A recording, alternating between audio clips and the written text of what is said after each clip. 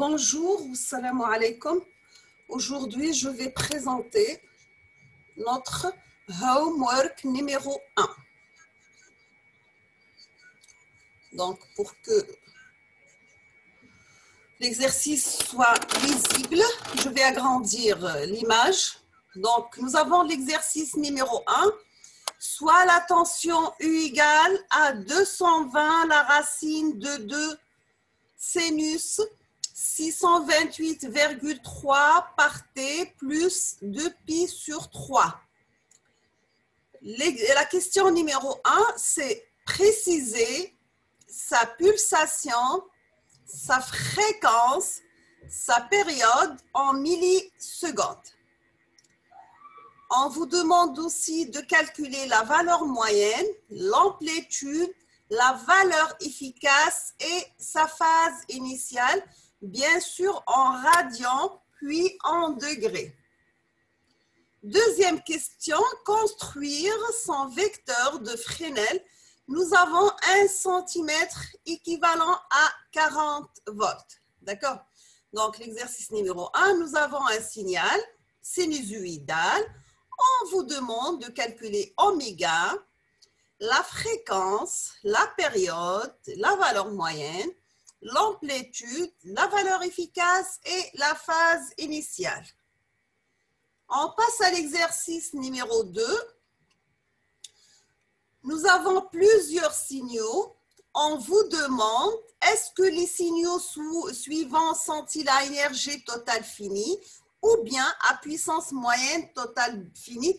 Bien sûr, on doit faire les calculs, c'est-à-dire on doit calculer pour chaque signal l'énergie totale finie et la puissance moyenne totale finie en utilisant la formule nécessaire.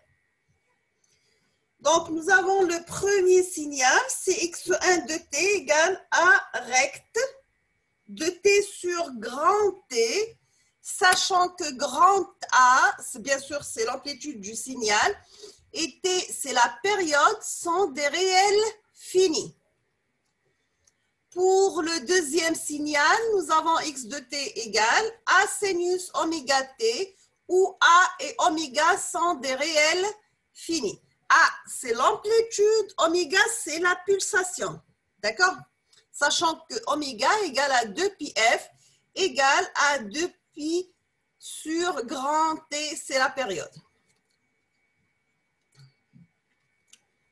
Troisième signal, c'est x de t égale à tri de t sur grand T, sachant que grand A et grand T sont des réels finis.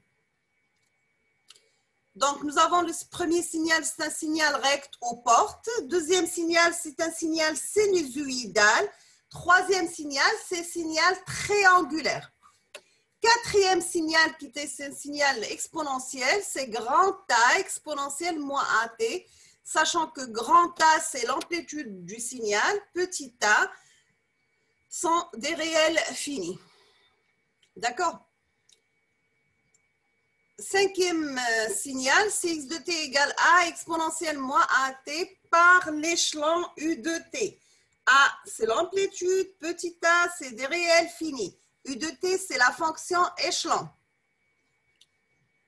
Donc, pour cinquième signal, c'est un signal qui c'est un signal positif ou la causale définie seulement pour la partie positive. Donc, la partie négative est nulle. Sixième signal, c'est x de t égale a cosinus pi sur petit a fois t multiplié par la fonction recte de t moins a sur 2a, bien sûr toujours grand A, A en majuscule, c'est l'amplitude du signal. Euh, a et petit a sont des réels finis. Donc ça, c'est cosinus par une fonction recte, c'est-à-dire ce n'est pas un signal périodique, c'est un signal dans une période qui est multiplié par la recte. Dernier signal, c'est x de t égale tri de t plus a sur a plus tri de t moins a sur a. Bien sûr, c'est la somme de deux signaux euh, triangulaires. C'est clair? Toujours avec petit a, c'est un euh, réel positif. Pardon? Donc, on passe à l'exercice numéro 3, c'est le dernier exercice. On vous demande de décomposer ces signaux en deux parties, l'une paire et l'autre impaire. Sachant que x de t égale a exponentielle moins at par u de t avec grande taille, petit a sans des réels finis. U de t, c'est la fonction échelon. Deuxième signal, donc le, premier signal, c'est un signal exponentiel par l'échelon, donc on prend seulement la partie positive du signal. Donc c'est un signal qui est défini 0 jusqu'à plus l'infini. Deuxième signal, c'est x de t égale à a cosinus pi sur a t par x de t moins a sur 2a, sachant que grand A et petit a sont des réels finis. Et nous avons troisième signal, c'est A euh, multiplié par tri de t moins a sur a. A toujours c'est un réel fini. D'accord?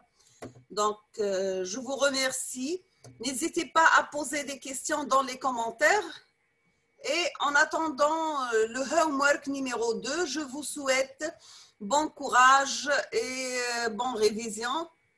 Et à la prochaine vidéo, Inch'Allah. Merci.